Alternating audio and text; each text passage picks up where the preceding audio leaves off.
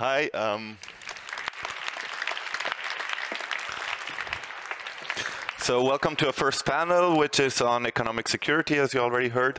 Um, I have the pleasure to welcome on stage Jovita Neliupšienė, who is the Vice Minister of Foreign Affairs from Lithuania.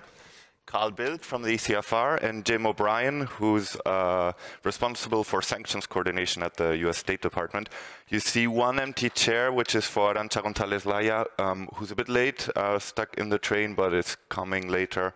And we'll just start, and um, she'll join us in a bit.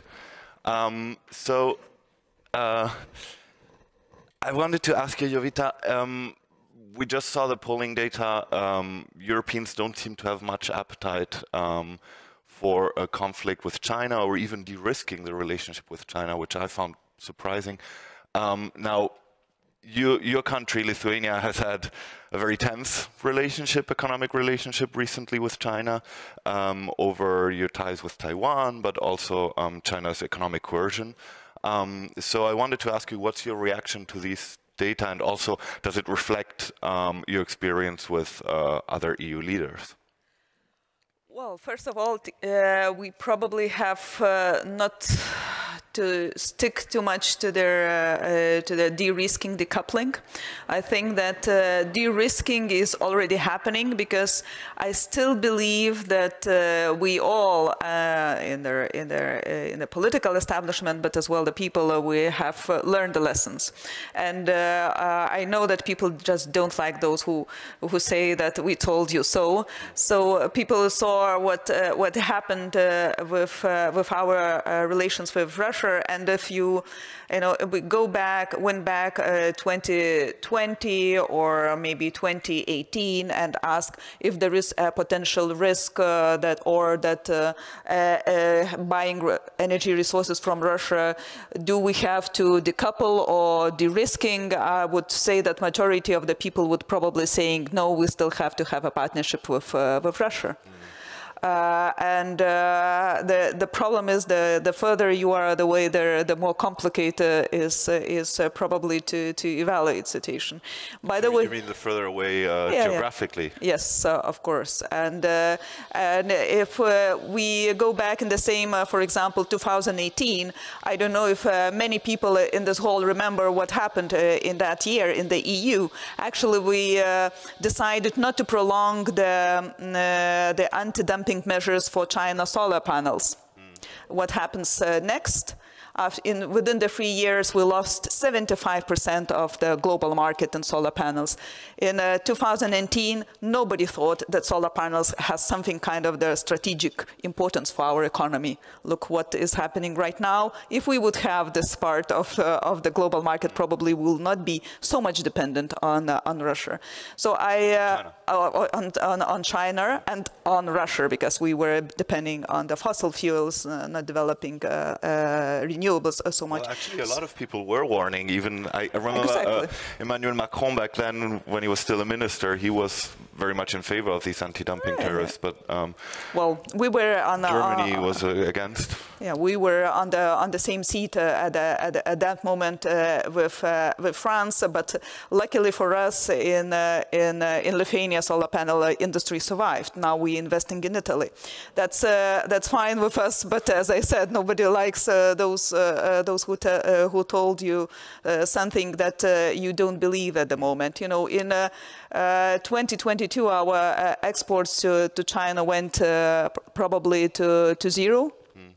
And uh, we really appreciate all the European support and that EU and the European Commission actually stood uh, by us and gave a, a, really a shoulder when we needed.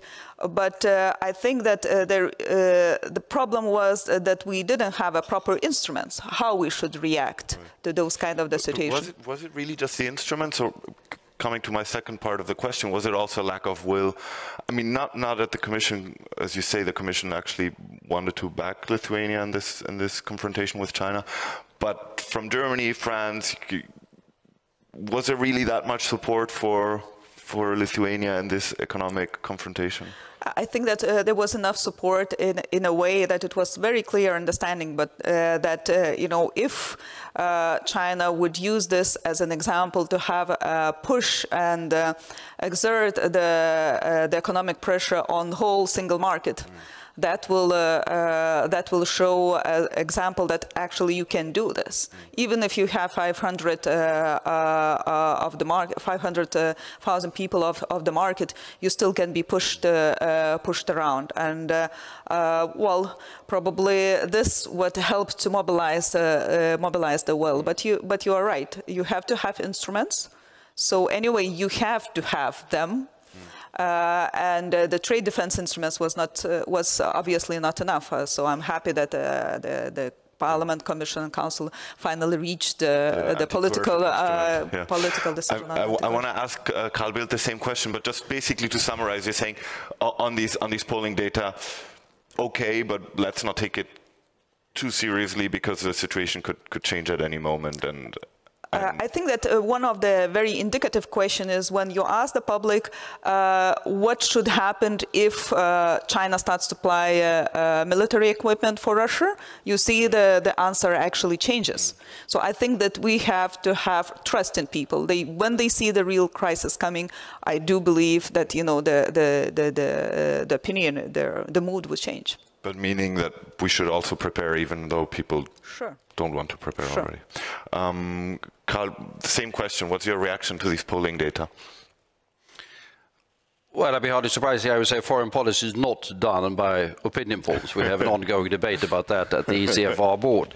Um, it is done by thinking ahead what kind of policies should work at any given time and then provide a leadership to public opinion. So, so I would say that the policymakers should not be shaped by public opinion, but should shape public opinion. Mm. And then, of course, some of these polling data, when you look at them, particularly when it comes to relation with Russia, does reflect historical things. Bulgaria, for other reasons, have another attitude to Russia than, say, Sweden or Finland. Uh, that's a function of geography and history more than any, uh, Lithuania could have been added to that particular picture, than a ref reflection on anything that is happening at this particular time. Uh, but let me just make some remarks um, on the, the, the, entire subject. One is, um, I mean, there's a, there's a tendency which I'm sort of uh, fairly worried about, uh, the weaponization of trade um, that we see. Um, that's done by several actors, not least by us as uh, an instrument of foreign policy. And my argument would be that it rarely, as an isolated foreign policy instrument, it is very rare to see that it produces any effect. I mean, the Lithuania... Do you mean sanctions or do you mean trade? Or whatever. Yeah. I mean, there are different things. I mean, Lithuania is a case to the point. Mm. Uh, what the Chinese did to Lithuania, they did in any sort of way affect the foreign policy of Lithuania. Not that I can detect anyhow. Mm. Uh, and that was a very big actor against, sorry to say, a fairly small nation. It didn't work. Um, so the weaponization of trade is a very blunt instrument, which rarely in isolation works. Um, we use that quite often in the West, sanctions it's called in that particular case, and if worked, if integrated with other measures and part of an overall policy, it could have an effect. But in itself, it's a fairly useless and sometimes counterproductive policy. That's my first point. Yeah. The second point, um, I mean, there's a price to be paid for sort of the trend towards mercantilism or whatever we have at the moment. Um, to take another that you brought up, the solar panel issue. Um, true, uh, we had these uh, measures against them. True, we took them away because we couldn't really prove uh, in the court, the WTO, um, that it was subsidies that led to this. And what has happened since then, true, the Chinese have captured the market, but if I remember the figures right, prices are down 70%, which means that the global competition has driven technology forward and prices down and has accelerated the, transition, the green transition. That's, in my opinion, a good thing. Uh, and we will face the same issue, by the way, when we now have the entire uh, EV electric vehicles, where mm. some of us were at the previous meetings, uh, where the Chinese are now six, seven years ahead of us. Uh, what do we do with that? Do we block their cars? Well, we could do that and say they're subsidized, whether they are or not, we can discuss. Uh, but that will mean that we would have a slower transition to electric vehicles in Europe. Is that a good or a bad thing? I mean, there's a downside to this particular thing. I mean, last last yeah. point before uh, finishing. Uh, we now find the entire debate drifting from decoupling, everyone is against, to de-risking, everyone is in favor.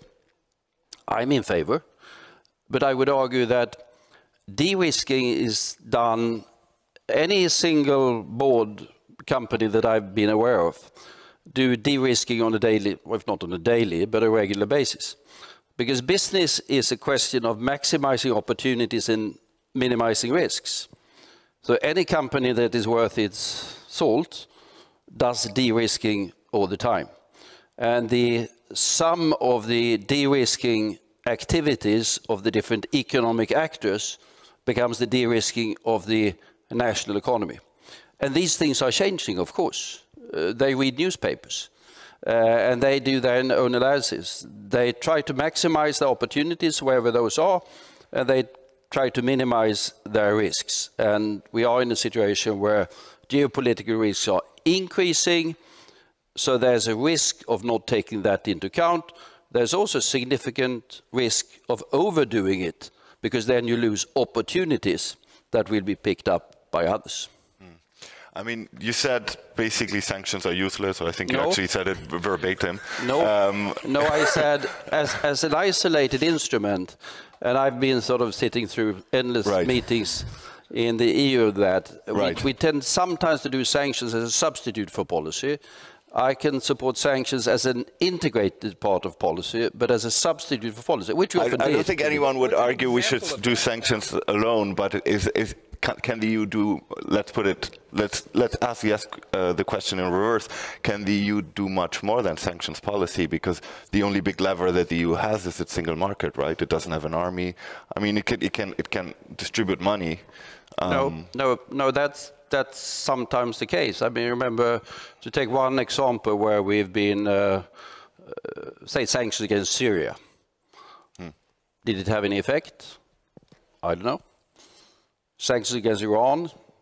Has they moved Iranian policy? I don't know. Perhaps it did on the margins, uh, but it's not been enough. I mean, negotiations have probably been, but, but, but there, there have been of the sorry. sanctions or of the policy as a whole.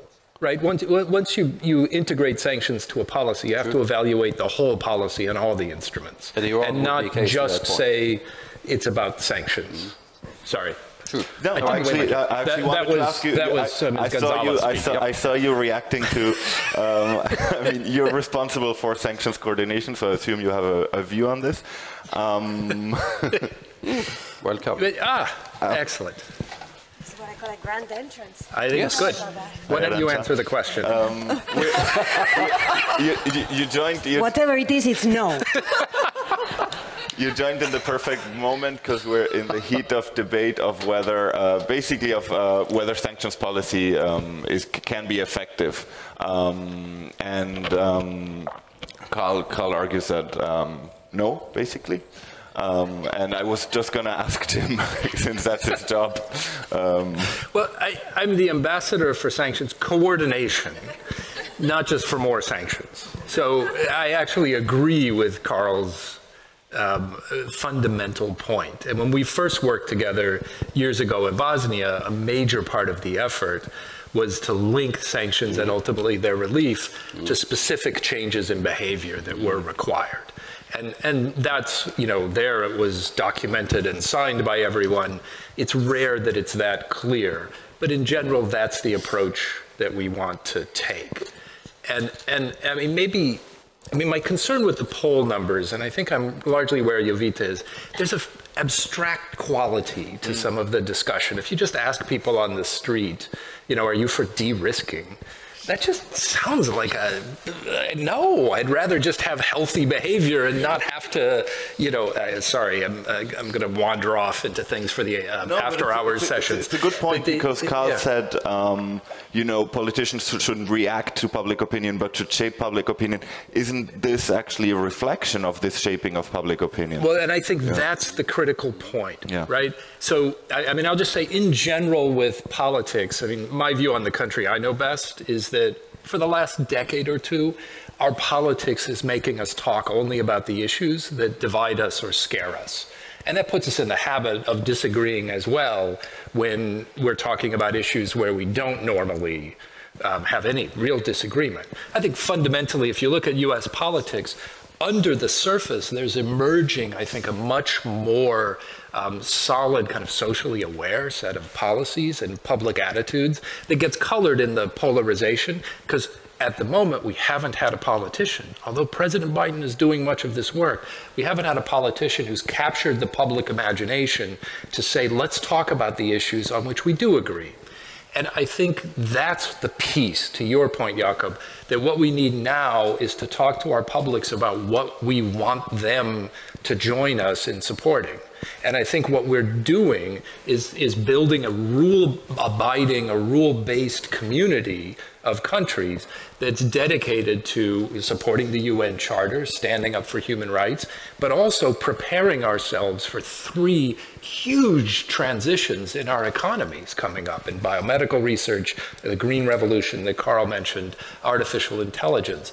And that's real work that's happening between the governments at the moment. And it's a positive agenda, but it's not yet what we talk about as what we want our people to come together around. When you say to them, when you go back to these same poll um, recipients um, and ask them in a few years if you say to them, Do you want more jobs in the renewable energy industry? Do you want more chip manufacturer? Do you want more domestic manufacturer of EVs? Um, and China seems not want to want to play with that. What's your attitude toward China now? Then I agree with Jovita. I think you get a sense of, hey, these guys aren't playing by a set of fair rules. Now, I can go on now. How do sanctions work as a part of this? I think there we do look at Russia. And again, I, I agree with Jovita. One of the points, Secretary Blinken just gave a speech in Helsinki to. Okay, sorry, well, I'll stop there. Yeah. I, I just want to make a distinction because we, we're kind of between sanctions and de-risking because it's not the same thing. I mean, both mean in some way a bit less trade with Russia or China, but but but with very different um, ob- objectives in mind, right? Um, actually, de-risking is probably defending yourself against the possibility of sanctions. And in the case of Russia, you could argue um, the threat of Russia cutting gas to Europe actually was a very powerful political tool that Russia had until it until it used it. But um, until then, What um, happen if uh, China cuts uh, lithium uh, uh, export? so so you could argue maybe sanctions work as a, as a threat at least. But but let's talk about sanctions in a little bit. I just want to go back to the idea of de-risking. And Arancha, you you've seen the you've seen the polling data. Um, not so much appetite for de-risking. Now the question is. Um, what does that really mean? And it is, isn't isn't the whole debate also framed in a way as if Europeans had a choice? There's just this kind of game that the US and China are playing, and we can choose whether we want to join. When in fact, aren't we already suffering from China's state capitalism and and are part of it, whether we want it or not? And also, if China attacked Taiwan, wouldn't we be part of it, of the consequences, whether we wanted it or not? So um, I happen to think that uh, polls and listening to citizens in democracies is very important. now we may like or not like what they tell us, but I do think that it's kind of good to listen to their views. And kudos for this work that has been done. It's very interesting to read uh, this report. I've uh, spent uh, the two hours plus that Air France and Arlanda uh, Airport gave us uh, glancing through uh, these polls because I think what it tells us is that European citizens, imperfect as their view may be, feel three things. They feel we have to uh, pretty firm with Russia. They tell us that we've got to be nuanced with China. And they tell us that we've got, realist, we've got to be realistic vis a vis the US. And I do think that this actually pretty well relates to the concept of European open strategic autonomy. Now, in some countries, it's a little bit more open. In some others, it's a little bit, on, bit more on the strategic. How much is uh, partnership, how much is competitor, how much is rival. And in other countries, it's uh, more about uh, the autonomy piece. But by and large, frankly, reading those polls, I felt reassured that this idea that we are looking for open strategic autonomy is supported by European citizens. And what they are telling us, and for us in Europe, we've got to be listening carefully, is that Europeans want a Europe in the world. They want a specific lane in international affairs for European and Europeans' view. Now, then the question is how do we translate this, not now, but for the future? What does the European policymaker, what do European politicians do uh, about making sure that this is the model for the future and that Europe would be able to swim as a specific actor in the world, not now, but in 20, 30, 50 years on.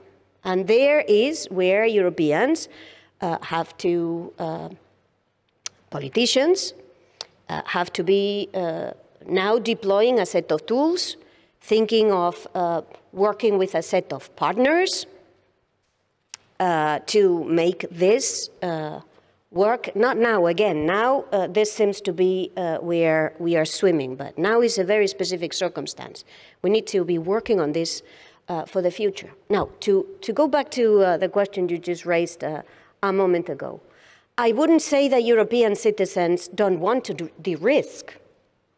I would say that they've got a more nuanced view of the risking than other views on the market.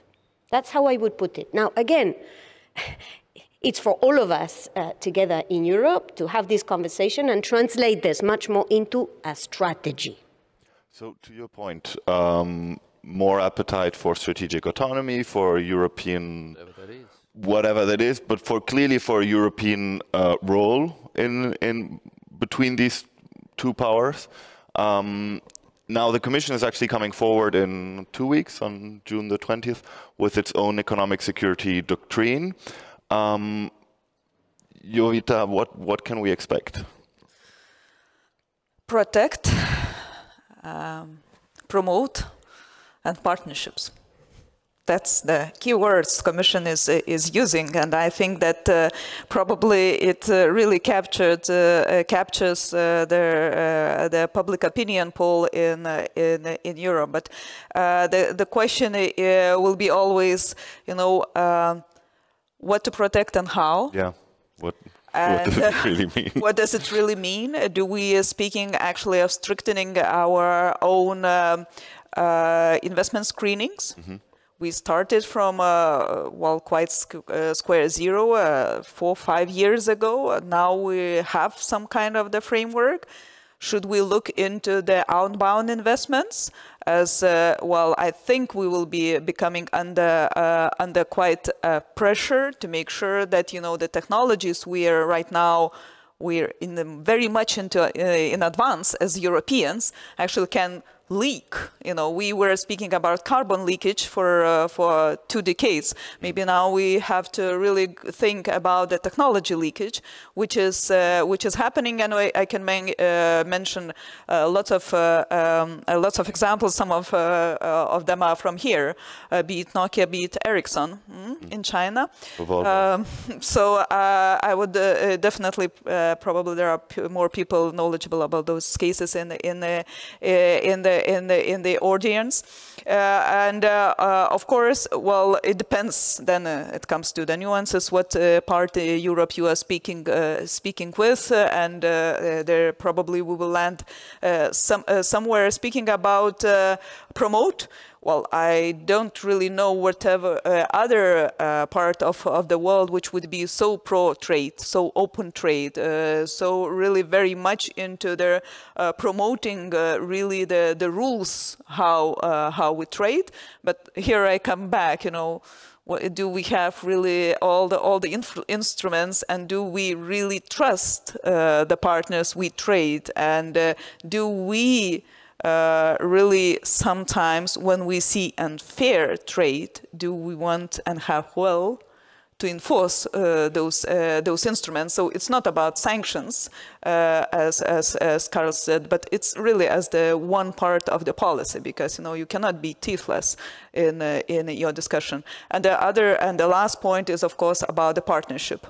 Do you trade with everyone openly wherever you go and you let you know take a business uh, all full risk or do you really trust with those partners who are more rule based and you know uh, rule of law uh, international all their all their uh, uh, attire to all the international regulations?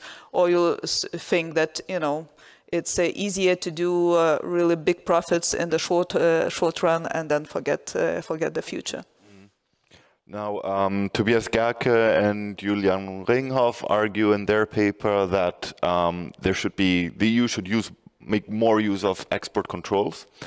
You also mentioned outbound outbound investment screening, which might be part of the Commission's proposal. Let's talk about that in a second, because that's a whole new kind of worms. But let's talk first about export controls, because they're mentioned in this ECFR paper. Um, Carl, do you agree that that's something that the EU should be using more? We have that. Uh, we've had that for a long time in terms of uh, technologies. There's been a regime in place through uh, through the Cold War. I was responsible in this country for overseeing it. Uh, so it's a fairly thorough screening of certain technologies that we consider key. Uh, dual use? Well, yeah, and that's always uh, somewhat, I can say it's fairly tricky sometimes. Uh, to uh, judge, and there's an international list that is agreed. Uh, there's been a problem now with updating that for a number of reasons, uh, but the export control regime for key technologies has been in place for a very long time.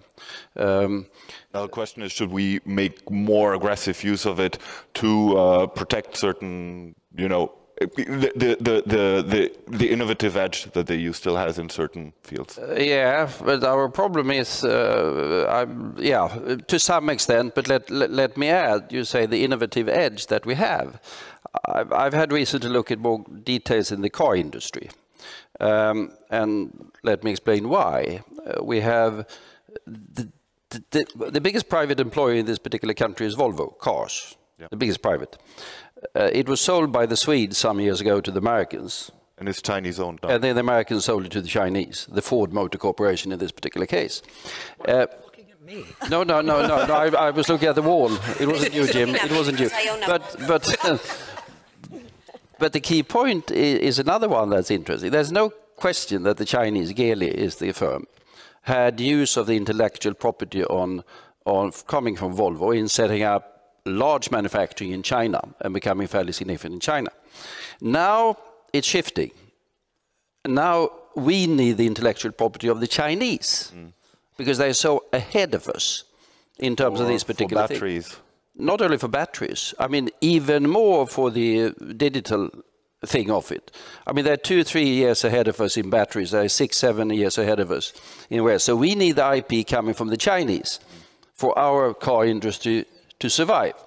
Um, uh, I'm in favor of an intellectual interchange, so, so, I'm not against this. I'm just saying that we should be aware of the fact that when we say the Chinese are stealing IP, no question, but we also, and, and we should be aware of our dependence on raw materials and whatever, but increasingly we're going to be dependent on IP mm. coming out of China. And the way to handle this long term, and there's only one in my opinion, is we must be far more aggressive in research and development and competitiveness because there's no way that we can regulate ourselves right.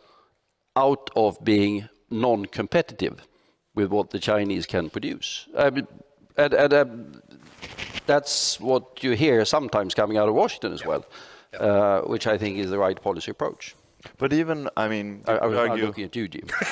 but, but as a follow-up, why, why, you could argue, um, okay, the Chinese are better at making electric cars. Let them. Um, why does, why does every continent need to make batteries, cars, chips? Don't we risk running into the same problems that we ran into when, when, when politicians decided what we have to produce, namely steel, which is a global overcapacity, and then new trade wars, everybody making way too many batteries, way too many chips. True. True. I mean, in, in, in terms of batteries, of course, where these stations have what? 80, 80, 90% of the market. Uh, but we are still investing quite a lot uh, because there's a transport cost and things like that. So, so there, there's an advantage in having these huge facilities fairly close to where we assemble the cars. Um, so if, even if we have that dependency, it makes sense in, I mean, we are investing, I think, in three new big factories in this country, for example. Or we are not, they are, the so-called capitalists. Well, with a lot of with a lot of money, I don't know in the case of Sweden, but definitely uh, in Europe, there's a lot of money coming now um, from from taxpayers, basically, to subsidize these battery In, factories. in Sweden, it's the capitalists. so that means that there is a business case, um, at least uh, for these ones, um, I suppose. Um, now, same question, Jim. Export controls, um, and not not for not as as a sanctions tool, but as a as a as a as a tool to kind of protect certain technological advantages. Um, is that is that something that the U.S. will bet more on? I'm the sanctions guy. The um, I think export controls have emerged over the last decade as a renewed um, and incredibly important tool of policy. So they're at the heart of our answer to Russia's invasion. Um, I think using them for purely mercantilist purposes is sort of, I don't believe that's the motivating uh, piece of their use in contexts other than war and peace. What we're looking at is, you know, if there's illegitimate um, use of IP or, or intrusions on um, things that threaten our security, then an export control is an appropriate tool. And I, I really, I like what Arancha said. I can call you Arancha, right? I'm Jim. Okay. The, um, uh, that I think this goes to what we mean when we talk about something under de-risking, um, or however we phrase it. I think, I think popular support for the idea is actually really nuanced um, and kind of context dependent.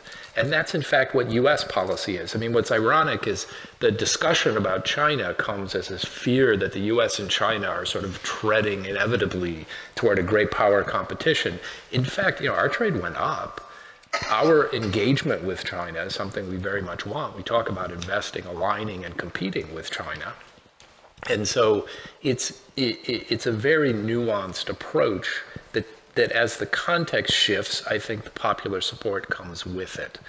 Um, and I just, I, so though I, I like that we've asked and found a snapshot of where the public is, kind of where it goes depends a lot on the context that leaders choose to put in front of them. That's where the kind of things about investment screening, bringing jobs home, protecting our ability to keep our economies running gives you a very different context of what it will look like to be working with China than than would something else. And that goes to, you know, are people going to be with us going to Taiwan? Well, a simple point that we realized in the pandemic is that if everything's made in China, sometimes it's hard for that stuff to get to the markets. So if you want to say everything, you know, all electric cars should be made in China, if China chooses to go after Taiwan, those ships aren't coming through and they're not going to drive those new Chinese made Volvos, you know, across the steppes of Central Asia. So it, really everybody has an interest in um, in, in seeing us operate in this kind of nuanced way we're protecting what we need, but cooperating wherever we can. The question is where you stop, right? Like if you if you have certain industries that you can define, and you say we really need to have those, but are cars part of it? Are solar panels part of it? Like Yeah, well, I think you know I alluded to this, and Carl did as well. I think Jake Sullivan, I think the most important speech by someone other Right. than the president last fall said there are three technologies that will drive economic growth and prosperity Chips. over the it's it's artificial intelligence is sectors artificial intelligence biomedical advances and the green revolution And that's where it's innovations in those areas that will shape the future. And so our rule abiding community of countries is oriented to make sure we can thrive in those sectors. Now, exactly what tools you use for different points, there are a lot of people more expert than, than I am. Okay, I mean, and and and so to summarize the, the, the, answer to the first question, basically, export controls can work well as sanctions and are being used against Russia. Um, so let's let's pivot to the to, to, to actually talking about sanctions um, and less about uh, de-risking. We can go back, but um, I, I, I, really wanted to ask you about sanctions um, because for the first time, or let's say more than ever before, the US and EU have really coordinated their approach on, on, on Russia. And this has been seen as part of the success. But also now more and more, we're talking about actually the loopholes and where the sanctions are not being as effective as, as was initially hoped. Um, so my question to you, Jim, is first, what have you learned from this cooperation between the EU and US? Um, and maybe later about the circumvention. Um, so the primary point from a U.S. perspective is that we welcome there being more capacity in the EU or across Europe to engage with us on problems, especially global problems. And that the EU already has this on many economic measures. The partnership on export controls and sanctions in response to Russia is fabulous. Jovita and I spend a lot of time in meetings where we're coordinating and looking at sectors. Um, and I think more ability to operate foreign policy. The whole purpose of the 2% of GDP commitment for, for NATO members is to make sure that we actually have the ability to respond when there are crises. So that, I think, is the, the core lesson. And I'm happy to go into detail about Russia, but I've been talking a lot. Yeah. So, yeah. Yeah. Uh, um, same question to you, Ita, because you, you've also worked on sanctions. Um,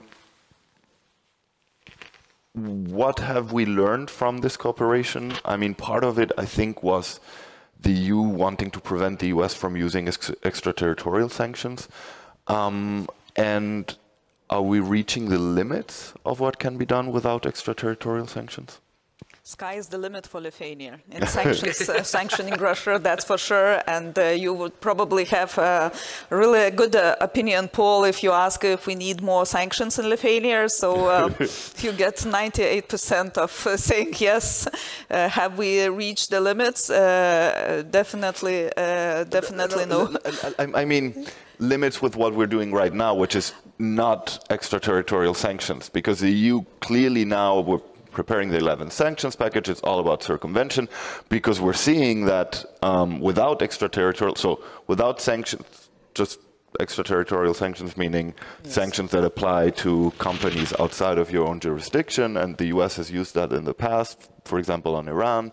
And it's meant that EU companies, even though the EU wanted them to keep trading with Iran, um, had to stop trading or lose access to the US market and, and risk penalties. So we've not done this against Russia. Um, is that a problem now? Because we're seeing that a lot of countries, such as Kazakhstan, are actually circumventing or even encouraging EU companies in, in circumventing these sanctions. Actually, we've done. We we have uh, secondary sanctions. But not. But uh, because uh, what is uh, what is happening in EU since the ninth package right now we're yeah. negotiating 11th, but uh, since ninth package we actually have a possibility to sanction anyone and everyone even outside our jurisdiction if they help to circumvent the sanctions. We have the so-called Annex 7, which mm. you can put uh, uh, the company names or, or, or, or people's names uh, in, uh, in there. So uh, theoretically we have, and we actually have well, some, some companies on the list, and some of those companies are Iranian companies, by the way. So it's, right. so, so, it's, so, true. So it was done we, on Iran yeah, yeah. for the drones. But, yeah. we started, we started it. now we are in the negotiations. If we can actually start putting countries not really, you know, their physical persons or, uh, or, or, or, companies, but countries on the list. And here we have the, you know, the, the negotiations, uh, internal EU negotiations, if we really want to do what kind of, if should be a first resort, my country would say yes, we do. Everyone who is helping Russia, we put on the list. But you know, there are other countries who would say like, okay, there should be a last resort, and we have to have a clear, uh, clear pathways how we do, uh, how we do that. So I really go uh, hope and keep my fingers crossed that we actually can uh, can manage that.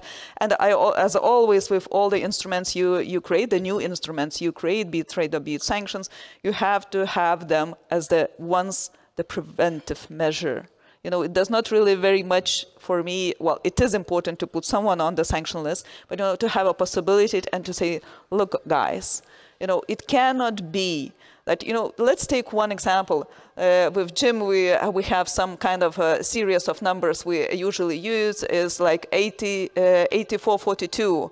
I would say the circuit, uh, the processor, circuit, circuit processor. Well, anyway, processor. and, and, and, and goods related, uh, related uh, to that. You know, it's not in the dual use, which we uh, actually, the good instrument and uh, so on and so forth, but it's a part of the high technology. And uh, increase of EU trade with Kazakhstan on this particular processor is dramatic. US trade uh, on this particular processor is as well went upside. What happened next? Kazakhstan trade with Russia on this particular processor increased 86%. And the problem with this specific processor, they can, this can be used in their uh, missile Kalibr.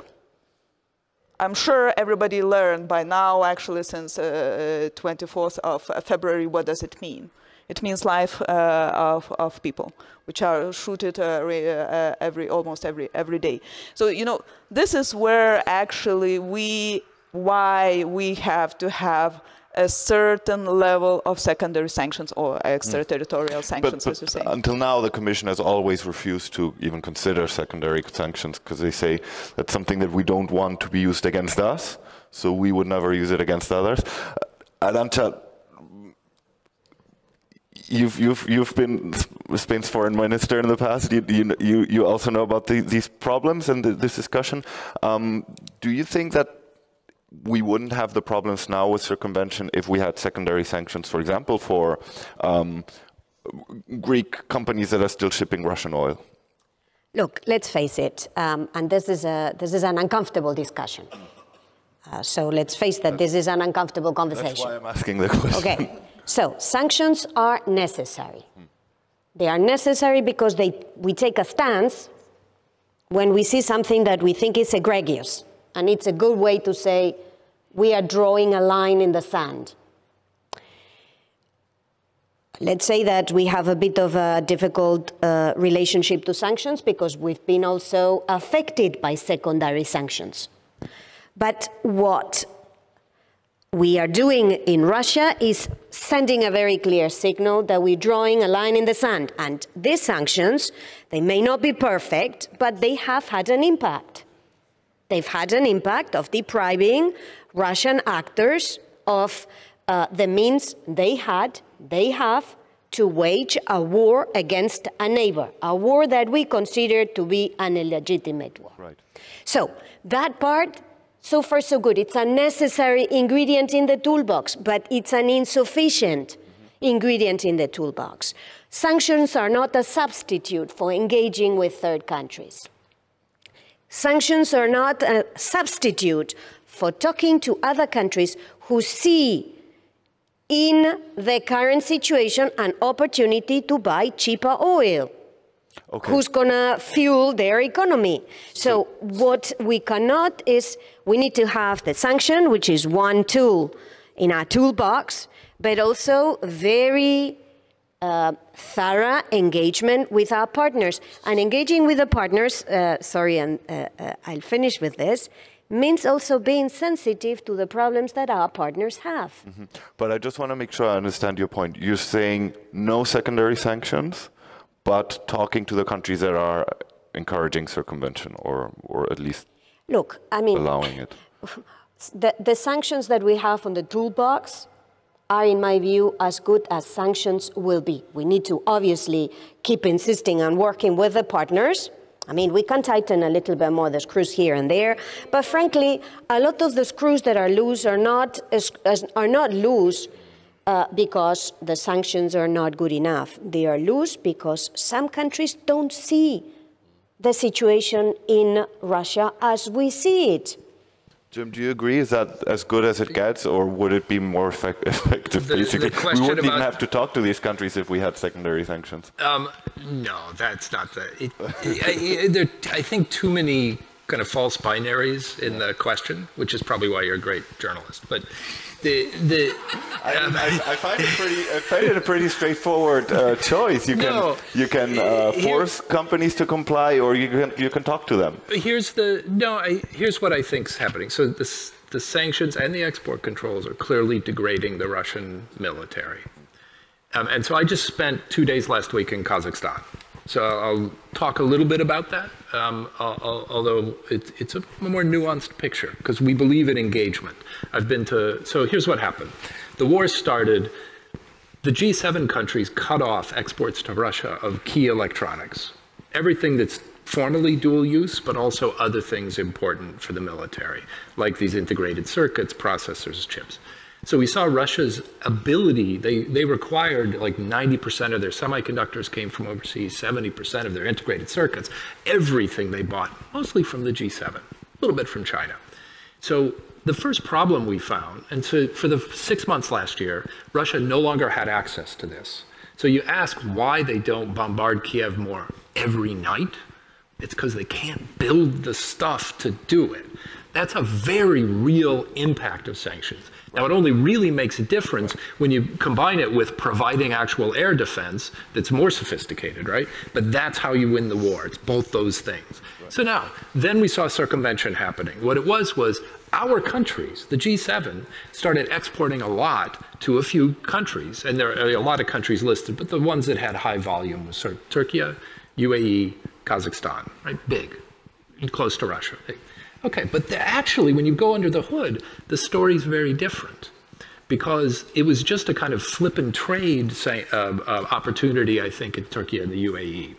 So Turkey, as soon as we approached them with this and began to talk about the problems, we talk to them. And also, they know that we will look at the possibility of sanctions. But often, and this is where I don't want to focus too much on secondary sanctions, Yeah. what you see is, sorry, I but don't, don't walk back to the premise. You, you, you, You- you, no, because- you're, you're clearly a very good politician, also because you didn't answer my question. but um, it's fine. Let's ask a different question. How big is the problem actually of circumvention? Do you do you have figures? so you've sizable. mentioned the countries. Um, Well, well, so okay, how big is it? We know it's a size, it's a substantial problem. That's why I'm going to Kazakhstan. That's why I'm going to Georgia, Armenia, other places. We have teams going out to Turkey and other places. do you have any So indicative figures? here's the number. What we know is that by the start of this year, um, Russia was able to reimport certain key categories of electronics at about pre-war levels. Now, how much of a problem was that? Clearly something we don't want to continue. One, Russia still faced a deficit because for most of 2022, it didn't have access to those items. Two, Russia's now running a war economy, so it should need many multiple times of these items than it, it was importing pre-war, right? Because they're blowing up the stuff they import. So, so the, the, and they don't have access to that. So how big a problem? It's a problem, but we also know Russia's ability to produce weapons is much hampered by the export controls and sanctions. Now, are we making progress? So well, the first thing we had to do was stop exporting this stuff ourselves. Because this trade, because it was not technically dual use, it was all legal. So, so we could send it to Kazakhstan. like microchips and washing machines. Uh, or- all those things, right? So the first thing, the EU was first in the December package, 9th, and the 10th package, plus the rest of the G7 followed in February. Now it's illegal for us to send those items when we think they're going for the benefit of Russia. The trade data always lags by a few months. We're seeing the numbers come down. But the second thing is then to engage with the key entrepot countries and say to them, you know, you know much of the trade here. Your, your economies are at risk. Most of your money comes from in dealing with Europe and the US and Japan. So why are you putting it at risk for a few, you know, truckloads of these shipments? And what we saw was Turkey immediately put in restrictions that said we will not allow this, this re-export. Kazakhstan has put in place a whole new set of procedures, and we're starting to see a little bit of bend in the numbers. Um, UAE is, is willing to act when it's confronted with specific information, um, and a number of other countries are beginning to put in place processes. So hopefully we see the numbers come down, and that's the benefit of engagement. Now, does it help if we can use sanctions? They're not always secondary. If we find a Russian official setting up a, a front company, that's not secondary. No. But And- and- with this one is that they just set up and it's a cat and cat Yeah, and yeah, you're just like, Yeah. but, but that's why it's so important to engage because we want the customs policies of the countries to change. I had great conversations in Kazakhstan last week, and I think we'll see the we'll see a real bend happening there. But, and this is my final political point, this is also a part about what Secretary Blinken calls Russia's strategic failure. Part of what happened, this, is different among all these countries. So part of what's happened with Kazakhstan is that global companies used to export to Russia, and then the Russian subsidiary or recipient would distribute across Central Asia. Now they're exporting everything right to Kazakhstan. And Kazakhstan is distributing across Central Asia and also back into Russia, where we have to be sure that what they're sending goes for legitimate purposes. So that will try to work to get under control. But this shift, now Russia's no longer the center of the economy in Central Asia. If that becomes a long term trend, that is a massive strategic failure by Vladimir Putin. And so, as we are working to try to reduce what we see as circumvention, we have to be sure we're not choking off the new economic reality that's emerging. Great, thanks. Um, super interesting. I'd actually like to follow up, but we have to uh, open this, or I want to open this up to questions from the public. Uh, yes, I don't know if we have microphones. Um, so there's one, one question here in the front.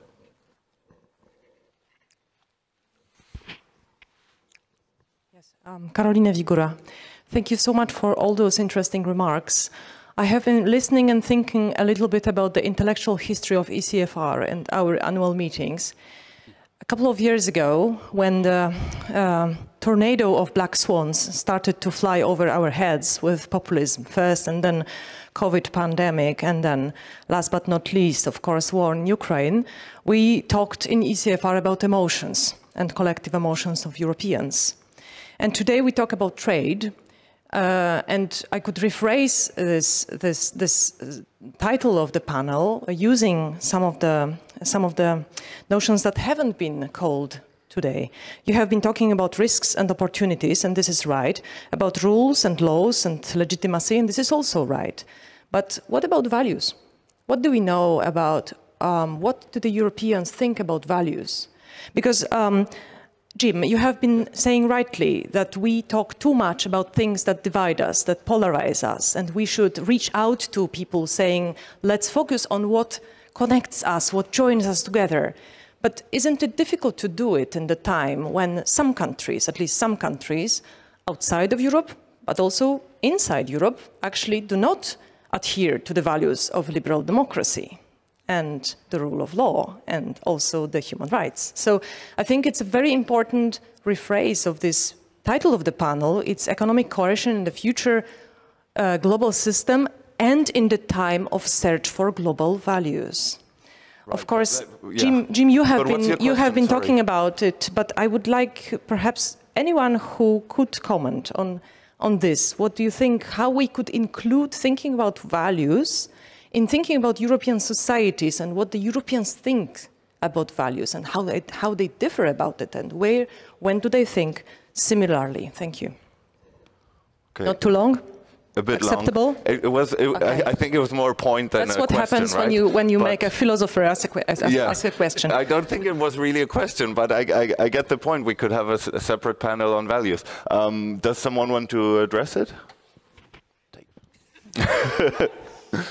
Take a couple and then, then okay. we can hear. Um, uh, yes. And please uh, say your name and, and you work for. I'm Ann Linde. I'm the former Foreign Minister and Minister of Trade of Sweden. Hello, Arancha. Uh, I wanted to pick up on something that Carl Bildt said, because uh, being on uh, council meeting after council meeting, discussing sanctions and sanctions and try, uh, and getting the free trade to get smaller and smaller. And I know Arancha is exactly on the same line. We are going in a direction where we are not putting enough uh, uh, innovation and, and, growth activities and everything to make us stronger as Europeans and going in, I think, in a little bit the wrong direction because we are so threatened now with what's happening. So how can we change this and not get stuck in a, a discussion on sanction and uh, limiting free trade at the same time as we need to be stronger as uh, Europeans. And that's, I, I, hear this whole discussion and it's, it's only about getting closer, yeah. getting so on, and that, that is a worrying thing. So I want you to, so, to reflect on that. So Thank the you. question is, um, how can we focus more on, on new free trade agreements? Um, the, how do we make ourselves stronger by growth and innovation and research and all this instead of making ourselves stronger by getting uh, more, uh, more uh, looking into ourselves and getting all the discussion about sanctions and all the, the, discussion about reducing our cooperation.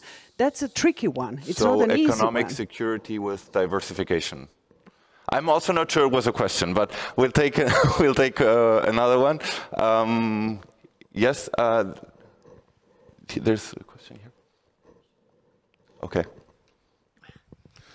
My name is Razvan Nicolescu, and I'm the former Romanian energy minister. My question is about the title. So I stopped counting sanctions when I reached uh, more than 100 times was mentioned in the panel. But who does the power to control if the sanctions are applied in Europe? Is the European Commission? Is Politico? Uh, is the, are the national prosecutors? Uh, are the national uh, member states? The European prosecutor? Who does control? Are we sure that the sanctions are really applied? Okay. Um, yes. Heather Grabbe. So what about sanctions on individuals? Which we haven't talked about, the smart sanctions idea. Are these the best way of putting uh, the line in the sand that Arancha was talking about? We've applied them to Russians, to Belarusians, to Iranians, back in the day to South Africans. Is scaring the individuals who wield power and the oligarchs more effective than trying to apply them to an economy? The second quick question is about the polling um, you've all pointed out that there are some quite nuanced views on de-risking. And that's actually quite sensible because we were able to get ourselves off dependence on Russian gas amazingly quickly, far more than anybody in Germany would have said, for example, was possible. But we can't decouple from China if we wish to decarbonize at the same time as de-risking. Uh, there's far too much dependency. I mean, we, we simply couldn't do it. We can't replicate those kinds of supply chains. So Europeans may be quite um, nuanced in their views, but what can politicians offer them as a really sophisticated way of de-risking over the years ahead when we can't simply friendshore and reshore those supply chains for decarbonising? Okay. I think we have a few, yeah. Maybe I will uh, I will start from uh, the minister's uh, question, uh, saying that no, it's not true. Maybe this panel, because the uh, the title is uh, about economic coercion, so that's why we are focusing on on on sanctions, export control, and different kind of instruments. But if you look what is happening on the trade agenda right now, it's you know we are having Australia, we're having New Zealand, we're having Mercosur. We negotiated that for you know better than me. We negotiated that for more than 10 years, actually. So so you know, it's a, it's a, it's a bit probably unfair the, pro the, the to, to, say that uh, we don't uh, do enough. Well, we do enough. Maybe we can do even more. The thing is, if we trust our partners, because uh, the the the part or the trade agreements or the deep and comprehensive trade agreements is about partnership. Is this the, one of the highest level of cooperation? And you have many more things uh, coupled with the trade agreements uh, as well, rule of law, attachment to the uh, to the international uh, uh, law and order, and so on and so forth. The climate, all all, all uh, human rights, and all, all, all the things. I think that you know through the trade agreements, through the deepening those uh, those cooperation, we are trying not really to close, but to to widen uh, the area. Hopefully, because it's uh, sometimes it's a pity actually to say that when our global partners saying one and not following the, uh, with uh, with uh, with their deeds on on not a, uh, not ability or it's that it's not possible to compare Russia and China and the risking is different. Well, but I really come back to the to the public opinion poll, and uh, well, I hope we will not have this discussion uh, uh, soon uh, or any time but I wonder if we will really would not speaking more about de-risking and decoupling if China decided to wage a war. And then we'll definitely have US engagement in that, and then we will be facing the choice. And definitely the public opinion poll will probably even go further than we are seeing, uh, uh, seeing, uh, seeing right now. Yeah, I want to uh, I want to address uh, Ann's point uh, because in reality, what the, the, the question we have in front of us is finding a new balance between trade and security. When I started my career 25 years ago, trade czars had the upper hand over security hawks. And right now, security hawks have the upper hand over trade no longer czars, uh, in some part of the world, they don't even have trade res responsibles or, or, or officials. Uh, but we clearly need to find a new balance. It's, and, and if I had to describe this balance, I would give it four points. Point number one, we certainly have to rebalance in favor of security because we have learned, and we've learned this the hard way, through COVID, uh, through conflicts, uh, through unreliable partners that um, openness has to be punctuated with security concerns, that it's not one or, or the other, but that for trade to continue to work, we need to incorporate much more security concerns. The second point I would put is that this is about national security, capital N, capital S. It's not about competition. Because if everything is a national security issue, remember, we had a period where steel, aluminum, everything was about national security. This is not the discussion. The discussion is about national security, capital N, capital S. Number three, we also have to put into the equation that open markets and international trade can bring us security. This is the reason why the EU has done uh, an agreement, a trade agreement with Chile. Chile has a lot of lithium. We want to have access to that lithium. And the vehicle to do that is through a trade agreement. Number four, and this has fallen off our radar, we also have to put a bit of energy into international agreements on arms and weapons control.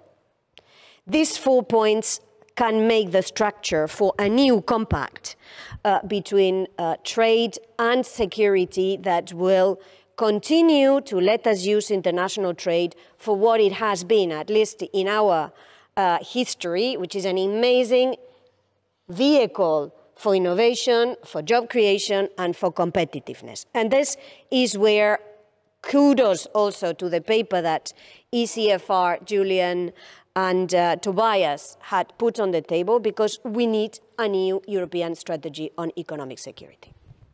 Carl, I think you wanted to comment as well. Well, a couple of issues. I mean, I, I think it's fairly obvious what I've said previously that I, I, I share the worry that the debate is drifting under the heading of security too much in the direction of mercantilism and state capitalism, neither of which I think is a good thing for the future. So I, I, I think we have security absolutely is an issue, uh, but it's not the only issue. And there's uh, the drift of the debate. We should be we should be we should be somewhat more careful. Heather had the issue of individual sanctions, and uh, certainly both Jim and I have been involved in that over the years in the Balkans. It's uh, should be it's it's an instrument should be done with care. Uh, you saw one of the complicating factors the other day with US and Chinese. Uh, the US had put individual sanctions on the Chinese defense minister, and then the US Secretary of Defense wanted to meet with the Chinese defense minister, and he said, no, you have me under sanctions, while he met with the Europeans who doesn't have him under sanctions. I mean, I mean, you're saying, I don't have a single answer to it, but it shows the complex nature of the issue. With the Russians, I think we have been too much across the board. Uh, I have examples of people who are in opposition, not not openly, but de facto actively in opposition, who have fled abroad and are forced back to Russia because they can't live in the West. They are forced back, they're invited back to Russia, and they have to go back to Russia because there's no way they can access a bank in the West. Is that wise? Not quite certain of that. I was in favor of doing sort of blanket in the beginning because we didn't we, we want to send a strong signal, but you need to be somewhat more selective. On the trade issue, I mean we should be aware of on the Chinese competition, which is of course the key issue that is there ahead of us. The Chinese are very effective in their trade policies. You might have seen the figures in the FT yesterday on trade between China and Latin America. Uh, in two decades, it's expanded by a factor of 20. Factor of 20. Uh, they have the RCEP agreement, the biggest trade agreement in the world, with all of the Pacific world. Uh, they have applied to join CPTPP. Whether that will happen or not uh, is debatable. But they are pursuing an aggressive trade liberalization policy. And they are gaining trade partners all over the world. I, I normally use a figure, I hope Jim is correct, but I think there are 100 countries around the world that trade twice as much with China as with the US at the moment in goods. Um, and, and that translates over time into political influence. We must be then more aggressive in our trade policy, and that includes an uncomfortable aspect, which is difficult to handle in our particular access to our markets, uh, because we can't sort of demand access to their market if we don't give access to our markets. And then we have to fight with farmers and wine growers and whatever it is. But we have to do that uh, because that's in our long-term strategic interest final point, just out of my experience, um, someone mentioned the COVID experience. I was involved with the, WHO, uh, the WHO coordinating that. The biggest problem that we had in ramping up vaccine production across the world was trade restrictions. In the beginning of the pandemic, we had 150 trade restrictions, and for some reasons they are secret. I mean, the WTO has a list. I don't know why it's not public, but it's there. Uh, it was roughly 150 across the world. Some of them fairly significant in terms of slowing things down. Um, and we managed to get that down to roughly 50. Took roughly a year of struggling with those particular countries. That is when we started to get vaccine product, when we want the global value chains up and running in markets that are often hyper globalized. And I didn't know anything about vaccine production before. Nothing, nothing. Uh, now I know something. It is hyper globalized. And if you cut it somewhere, it has an effect somewhere else. Um, so I would say one of the key things that we had in fighting the COVID and being, at the end of the day, successful in the vaccine production was opening up all of the global value chains everywhere and getting away with trade restrictions. That was quite a good experience a lesson for me. On that note, we've run out of ah. time. That's all the time oh, we got. Oh, but Jim needs to say something. Um, uh, okay, three points because I'm between you and your coffee. One, often sanctions reinforce the standards we're for, and that's my answer on values. So when we impose, many of our sanctions in Russia are against the people who are stealing children, stealing grain, committing atrocities. You know, we'll see what happens with the last day or two. And that sometimes does cut across other policy needs, but what we're trying to say is this is the community we are part of, and we stand by these values. The second thing, individual sanctions, Heather, I think are often important, I think a key element of them, though, is they should be tied to a nuanced understanding of the local political economy. So if you look at what we are doing in the Western Balkans now, particularly in Bosnia, I'll just say a lot of the political leaders, I don't know if they are actually secessionists and nationalists so that they can be rich, or if they need to get rich so they can carry out a secessionist campaign. The money is something I can get at. So we are looking at the people who fund the criminal networks, the bagmen who carry it out, the state procurement scams, those things so that they can't be rich on the backs of being nationalists. And I think that changes their political calculations. Other kinds of sanctions, individual sanctions, may not be much. Um, the third thing, to the minister's question about sanctions implementation, it is an area we spend a lot of time on. We need everyone down to the compliance officer in a company and the customs guy standing at a border to understand what is allowed. But and here's the more fundamental point we can close on. We have to be sure that we're providing alternatives for, for people in these markets. If we say you're no longer allowed to trade with your longtime trading partner and we're not going to give you anywhere else to go, then we're in a battle trying to hold the water on the other side of the dike. I realize it's a horrible metaphor right now. But the, what we need to do is kind of create markets and create options. And that's why I keep coming back to the importance of the sort of framework that, that Arancha is discussing. We're no longer in the world of more trade is good trade or tight national security restrictions. We have to recognize that security means people have to be able to live and live well at home. And that is what will allow us to, to have a solid popular base for our, um, for our foreign policy. And so a piece of what we're doing with redirecting value chains by using sanctions or export controls in the case of Russia is redirecting them in a way that will be sustainable and that will allow people to feel a, a broader sense of security in where they live. And that lowers the risk that they will go off and try to violate the sanctions in a way that will allow Russia to continue its war. Thanks. Um, now we really have run out of time, but um, it was super interesting. Um, we now have a 45 minute coffee break, and then we're back with ECFR's insight session on the Turkish elections. Um, so at 15:45. Thanks. Thanks.